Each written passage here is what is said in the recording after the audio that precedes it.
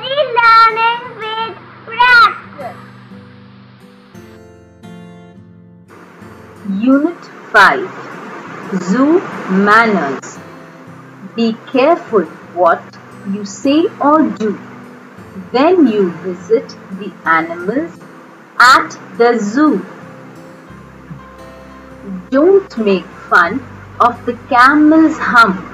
He's very proud of his noble bump. Don't laugh too much at the chimpanzee. He thinks he's as wise as you or me.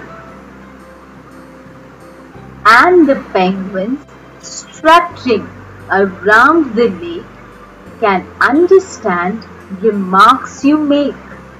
Treat them as well as they do you, and you always be welcome at the zoo. Written by Eileen Mathias. Do remember to like, share, subscribe, and click the bell icon to stay updated on all of the latest videos. Please let us know in the comment section below what other lessons you would like us to make. We would love to hear from you. Thank you for watching.